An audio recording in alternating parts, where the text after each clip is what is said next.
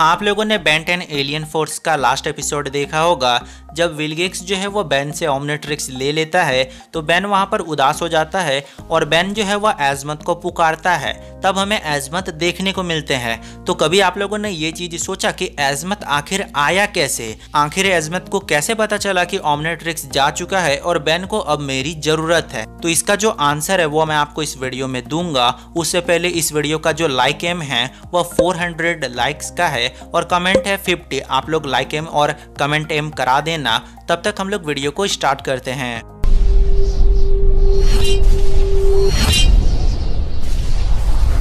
अब देखो Ben Ten alien force के लास्ट एपिसोड में हम लोगों ने क्या देखा? कि एल्बिडो के मदद से जो विलगेक्स है, वो बैन का ऑमनेट्रिक्स ले लेता है और अपने फौज को ट्रांसफॉर्म भी करा देता है। बाद में जो एल्बिडो है, उसको धोखा भी दे देता है। पर बैन ने जब ऑमनेट्रिक्स दिया विलगेक्स को, तब बैन जो है वो हार चुका था, क्योंकि बैन को ऐसा लग रहा था कि ऑमनेट्रिक्स के बिना वह कुछ नहीं कर सकता है। गुएन ने भी समझाने की कोशिश किया बैन को, पर बैन नहीं मान रहा था। बैन को लग रहा था कि वो हार गया। तब वो एजमत को पुकारता है और हम लोगों ने देखा कि एजमत आ भी जाते हैं। अब यहाँ पर पहला क्वेश्चन आता है कि आखिर एजमत को कैसे पता चला? तो आप लोगों को तो पता ही होगा कि जो एजमत है, उन्होंने ऑमनेट्रिक्स को बनाया है और ऑमनेट्रिक्स में एक फीचर तो डाला ही होगा कि कभी भी ऑमनेट्रिक्स में कुछ प्रॉब्लम हो या फिर कोई भी दिक्कत आए तो एजमत को तुरंत नोटिफिकेशन आ जाए।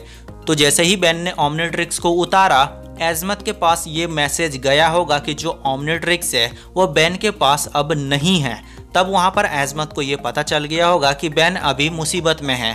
पर अगर आपके मन में ये क्वेश्चन उठ रहा है कि Ben ten secret of omnitrix movie में जब बैन ने गलती से ऑमनेट्रिक्स का सेल्फ डिस्ट्रक्ट ऑन कर दिया था, तब ये चीज़ एजमत को कैसे पता नहीं चला था? तो क्या पता बैन एंड क्लासिक वाले ऑमनेट्रिक्स में ये फीचर नहीं होगा, जिस वजह से एजमत को पता नहीं था। पर एलियन फोर्स वाला जो ऑमनेट्रिक्स है, वो इम्प्रूव ऑमनेट्रिक्स था, एक अपडेटेड वर्जन वाला ऑमनेट्रिक्स था, जिस वजह से ये तो पता पता चल गया होगा एजमत को कि बैन अब कोई प्रॉब्लम में है, क्योंकि आप लोगों को पता होगा कि जब बैन एंड केविन ने ऑमनेट्रिक्स को हैक करना चाहा था तो एजमत को फिर भी पता चल चुका था। एजमत ने होलोग्राम में आकर बैन को वार्निंग भी दिया था। तो कहीं ना कहीं एजमत को ये चीज़ पता चल जाता है, क्योंकि आखिर में तो ऑमनेट्रिक्स को एजमत ने ही बनाया है।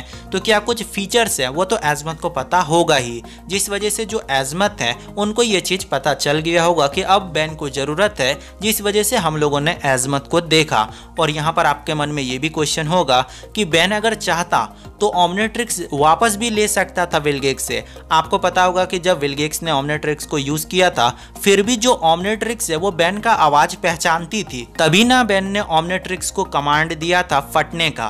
तो अगर बेन चाहता तो वो फिर से बोल सकता था ऑमनेट्रिक्स से कि तुम शट डाउन हो जाओ और वापस आ जाओ। तो ऐसा हो सकता था, पर क्योंकि एजमत को ये चीज़ पता था कि बैन को अपने आप को प्रूफ करना है तो वहाँ पर एजमत ने एक हिंट दिया था कि अब तुम्हें ऑमनेट्रिक्स को छोड़ना होगा, जिस वजह से ऑमनेट्रिक्स का हमें सेल्फ डिस्ट्रक्ट देखने को मिला। और क्योंकि बैन को यह चीज़ पता था कि ऑमनेट्रिक्स से इम्प्रूव है अल्टीमेट्रिक्स तो अल्टीमेट्रिक्स को बैन ने सोच लिया था लेने का पहले से, जिस वजह से बैन ने कुछ सोचा भी नहीं और जाकर एल्पिडो से अल्टीमेट्रिक्स को छीन लिया। तो ये भी एक पॉइंट था, एक हिंट था जो कि एजमत ने दिया था बैन को। और बैन समझ भी गया ऑमनेट्रिक्स को उसने सेक्रीफाइस किया और उससे इम्प्रूव एक अल्टीमेट्रिक्स को ले लिया एल्बिडो से। तो यही एक इसका रीजन है कि आखिर एजमत क्यों आए थे वहाँ। एजमत ने एक दिशा दिखाया बैन को और एजमत को ये सब चीज़ें पहले से पता चल जाती हैं, क्योंकि वह टेलीपोर्ट हो सकते हैं। उनका एक पावर है कि वह कहीं भी टेलीपोर्ट हो सकते हैं। तो आप लोग मुझे कमेंट करके बताना कि आपको क्या ये पता था कि नहीं? और अगर आपको इस तरह के और भी वीडियोस चाहिए तो आप हमारे चैनल को सब्सक्राइब करके बेल आइकन को प्रेस कर देना।